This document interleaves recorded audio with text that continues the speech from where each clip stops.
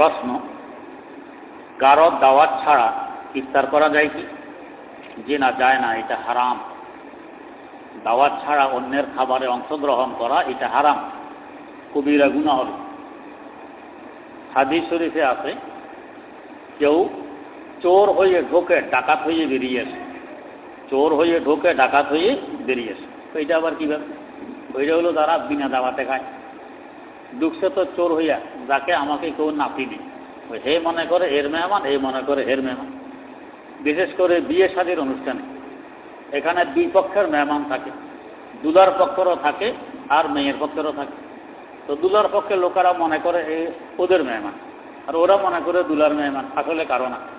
তো ডুকছে তো এভাবে চুরি করে চোর হয়ে খাইছে তো সকলের সামনে দিয়ে, ডাকাত তো ডাকাতি করে সকলের সামনে দিয়ে করে চলে আসে তো সকলের সামনে দিয়ে খাবারগুলো ডাকাতি করে পেটের ভিতরে বোঝা নিয়ে বেরিয়ে চলে গেছে। তো ডুবতে চোর হয়ে বেরোচ্ছে ডাকাত হয়ে। এটা হারাম, কবিরা গুণা হবে, এটা বৈধ নয়। প্রশ্ন, কেউ যদি ইফতার করা সমস্ত টাকা দেওয়া শর্ত ইফতার করা ও সামর্থ্য থাকা সত্ত্বেও মসজিদে ইফতার করে তাহলে কি গুণাগার হবে? আমাদের যেখানে আমভাবে, সাধারণভাবে ইফতারের ব্যবস্থা করা হয়, এখানে সাধারণ দাওয়াত। যে কেউ আসবে খেতে পারবে, এটা গুণা হবে না না যায় হবে না, যেহেতু এখানে দাওয়াত দেওয়াই আছে। এই জন্যই টাকাও সংগ্রহ করা হয়। এটা না যায় হবে না, এখানে ধনী হোক আর গরিব হোক, সবাই খেতে পারবে। প্রশ্ন, মহিলাদের সন্তান হওয়ার পর যে কাপড় পরিধান করে চল্লিশ দিন পর ওই কাপড় ধোয়ার পর ওই কাপড় দিয়ে কি নামাজ পড়া যাবে? দিয়ে যাবে। দিয়ে ফেললে পাক হয়ে যায়। ইসলামী শরীয়ত অনুযায়ী দুইলে পাক হয়ে যায়। নামাজ পড়তে কোনো সমস্যা নেই। প্রশ্ন, তারাবির নামাজ একবার নিয়ত করলে কি হইবে? এবং তাসাকুদ বা আত্মাহিয়াতু একবার দুই রাকাত বিশিষ্ট নামাজে পড়লে কি হইবে? প্রত্যেক দুই রাকাতে ভিন্ন ভিন্ন নিয়ত করতে হবে। প্রথমে নিয়ত করছেন, আমি তারাবি করতেছি প্রথম দুই রেখাত হয়েছে এর বাকি আঠারো রাকাত হয়নি। প্রত্যেক দুই রেখাতের আগে নিয়ত করা লাগবে।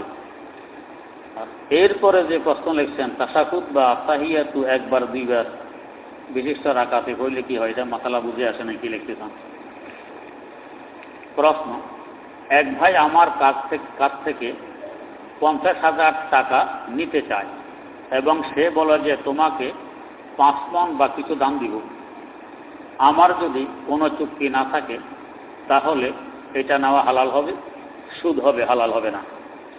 প্রশ্ন, এতেকাপ নিজের মহল্লা ব্যতীত অন্য কোনো মহল্লার মসজিদে করা যাবে কি না জি, করা যাবে।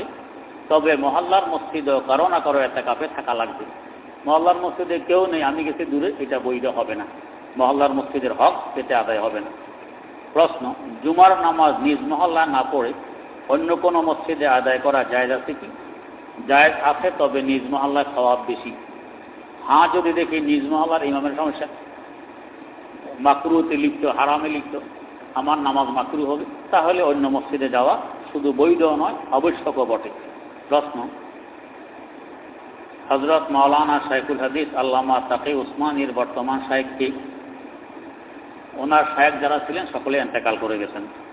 প্রশ্ন। আমাদের বিশ্ববিদ্যালয়ে বিভিন্ন ধরনের সুদের অঙ্ক বা সুদের হিসাব শেখায়। যে শিক্ষকেরা, তারাও কি গুণাগার হবে? তারা গুণাগার হবে। আল্লাহ মাফ করুক। প্রশ্ন, টিভি দেখা নেকি না গুণা এটা আমারে প্রশ্ন করা লাগে না, যারা দেখে এরাও বুঝে। টিভি দেখা যে শুধু গুণা নয়, মারাত্মক গুণাহের কাজ, এটা যারা দেখে এরাও বুঝে। আল্লাহ মাফ করুক। প্রশ্ন, কাটা পাঞ্জাবি পরা শূন্য নাকি যুবা পরা সুন্নত উভয়টাই সুন্নত মেসকা শরীফে হাদিস আছে হজরত রাসুল আকরাম সাল্লাহ আলাইহে ওয়াসাল্লামের কাছে একটি জামা আসছে হাদিয়া ওপট ওপন সিরিয়া থেকে। তখনকার সময়ে জামার মূল্য ছিল দুই হাজার রৌপ্য মুদ্রা। অনেক দাম। জামাটি কেমন ছিল? তার মধ্যে লেখা আছে, জামাটা ছিল দিয়া কাটা। যেন কাটাও বৈধ, জুব্বাও বৈধ, কোনোটা না যায় নয় যদি জুব্বা পরা সুন্নত হয়, তাহলে অনেকে হাঁটুর সমান করে, অনেকে একেবারে গোড়া থেকে একটু উপরে করে, আবার কেউ কেউ মাঝখানে করে, কোনটা করা উত্তম সবগুলো করা যায়। আল্লাহ রসুল সাল্লাহ আলাইহি ওয়াসালামের জুব্বা কেমন ছিল? মস্তাদ রাখে হাকেন সহি হাদিসের কিতাব। এখানে হাদিস উল্লেখ আছে, কানা কামি সুহু ফাউকাল কারবাইন। হুজুরের জামা ছিল পায়ের ছোট গিরার উপরে। এখান থেকে ছোট গের উপর পর্যন্ত পরা বৈধ হজরত আব্বাস রাদুল্লাহ তাল আনহু থেকে বর্ণিত তিনি বলেন একদিন রাসুল্লাহ সাল্লাহ আলহি ওয়াসাল্লাম আমার হাঁটুর নিচে চার আঙ্গুল রাখলেন। রেখে বললেন, এটা হলো লুঙ্গি পরিধানের জায়গা মানে লুঙ্গি হাঁটুর নিচে চার আঙ্গুল থাকবে। এরপরে তার চার আঙ্গুল নিচে আবার হাত রেখে বললেন, এখানেও লুঙ্গি পরিধানের জায়গা। দুই চার আঙ্গুলে নেত্র শাক পর্যন্ত পৌঁছে, অর্থাৎ নলার মধ্যখানে। এটুকু বলার পর হজরত এবনা আব্বাস বলতেছেন। এর আগেরটা তো হুজুরের কথা। এখন এবনে আব্বাস নিজে বলতেছেন তো এইটা জামারও হুকুম।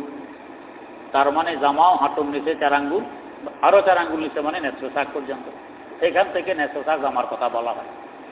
এরপরে হাদিসে আছে আরও যদি লম্বা করতে চাও, তো টাকনুর উপর পর্যন্ত জুলাই করতে পারবে সে লুঙ্গির কথা। আর জামার কথা তো মোস্তাদ রাখে হাসেমের সই হাদিস দিয়ে বললাম, টাকনুর উপর পর্যন্ত হুজুর জামা পড়ছে। আর এক হাদিসে হুজুরে জামার কথা আছে, কানা আমি শুধু ফাঁসি করতে পার হুজুরে জামা লম্বা কম ছিল। এখান থেকে হাঁটু বা হাঁটুর উপর করাও বৈধ। শুধু শর্ত হলো বিজাতি সাদৃশ্য যাতে না হয়। হিন্দুরা কেমন করে, খ্রিস্টানেরা কেমন করে, ইহুদিরা কেমন করে, বৌদ্ধরা কেমন করে, নাস্তিক ফাস্তিক কুজ্জারা কেমন করে, এদের সাথে যাতে সাদৃশ্য না হয়, না হয়ে আপনি জামা এই হাঁটু থেকে নিয়ে টাকুর উপর পর্যন্ত যেভাবে চান এভাবে করতে পারবেন। নেশা পরিমাণ স্বর্ণ আছে, কিন্তু এর অধিক ঋণ রয়েছে, আমাদেরকে জাকা দিতে হবে। স্বর্ণ আছে স্ত্রীর ঋণ হলো স্বামীর। আমরা মনে করি বস স্বামীর ঋণই জাকা দেওয়া লাগবে না। খুব বুঝে নিন স্বর্ণ স্ত্রী সে ঋণী নয় ঋণী হয়েছে স্বামী। স্ত্রীর স্বর্ণের জাকাত স্ত্রীকে দিতে হবে। স্ত্রী যদি দেওয়ার কোনো ব্যবস্থা না থাকে, স্বর্ণ বিক্রি করে দিবি। অথবা স্বামীকে বলবে, আমার স্বর্ণের জাকাত আপনি দিয়ে দেন। বললে স্বামী আদায় করলে স্ত্রীর জাকাত আদায় হবে, স্বামীর মোস্তাহ সব হবে। বলা ছাড়া এমনি যদি স্বামী আদায় করে দেয়, তাহলে স্ত্রীর জাকাত আদায় হবে না। এই জন্য একটু চালাকি করে বলে দিবেন যে, আমার সারা জিন্দিগির জাকাত আপনি দিবেন। আমার বিয়ে করার পর আমার পরিবারেরও স্বর্ণের জাকাত ওয়াজিব হয়েছে ফরজ হয়েছে আমাকে বলতেছে, আমার স্বর্ণের জাকাতগুলো আপনি দিয়ে দিবেন। আমি মজাক করে বললাম, ভালো হইতে বলছো। স্বর্ণ করবা তুমি, ব্যবহার করবা তুমি আর জাকাত দিব আমি। আমার আর খাইয়ে যায় কোনো কাজ নেই। এরপরে যে জব দিচ্ছে মাসা আল্লাহ আমার এই স্বর্ণ ব্যবহার কার জন্য? আল্লাহ আমার এই স্বর্ণ ব্যবহার কার জন্য? স্বর্ণ ব্যবহার করে আমাকে দেখতে সুন্দর লাগবে আপনার জন্যই। কারণ স্ত্রীর সৌন্দর্যতা কার জন্য?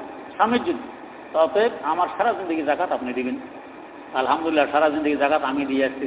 তার একবারে বলায় সারা জিন্দগির জন্য হয়ে গেছে। আপনারা বলে দিবেন, স্বামীদেরকে আমার সারা জিন্দগি জাকাত আপনি দিবেন। হ্যাঁ যদি বাস্তবেই স্ত্রী নিজের ঋণী, তো তাহলে ঋণ বিয়োগ দেওয়ার পর যদি জাকাতের নেশাব পরিমাণ থাকে, তাহলে দিতে হবে, না হয় দিতে হবে না। প্রশ্ন, বাদ্যযন্ত্র বাজানো হারাম কেন? হাদিস শরীফ এবং কোরআন শরীফে হারাম বলা হয়েছে এই জন্য। অমিনান নাসে মাই ইয়াস্তাদি লাহাবাল হাদিস, কোরআন শরীফের আয়াত। এই লাহাবাল হাদিস মানে গান বাদ্য। খুলে দেখুন, তাফসিরে দুর্রে মানসুর এই তাফসিরটা হলো কোরআন শরীফের তাফসির করা হয়েছে শুধু হাদিস দিয়ে, অন্য কিছু নেই। ইমাম সৈয়দি রহমতুল্লাহ আলাইহির তাফসির ছয় খণ্ডে দুর্রে মানসুর বলা হয়, কোরআনের তাফসির হাদিস দিয়ে। এই আয়াতের তাফসির দেখুন, কত হাদিস এখানে আনছে। যে এখানে লাহবাল হাদিস মানে গান বাদ্য। তো কোরআন এবং হাদিসের মাধ্যমে হারাম করা হয়েছে, তাই হারাম। প্রশ্ন, আমি কি বেঁচে থাকতে আল্লাহর কাছে সব গুণা মাপ পেতে পারি? জি পারি। আল্লাহর কাছে আমি তবা করব, খালেজ দিলে। আমার আল্লাহর ওয়াদা আছে, খালেজ দিলে তবা করলে আল্লাহ পাক তবা কবুল করেন। আল্লাহ রাবুল আলমিন চাইলে সব গুণা মাফ করে নিষ্পাপ বানায় আমাকে দুনিয়া থেকে উঠে নিতে পারে আল্লাহ পাকের ক্ষমতা।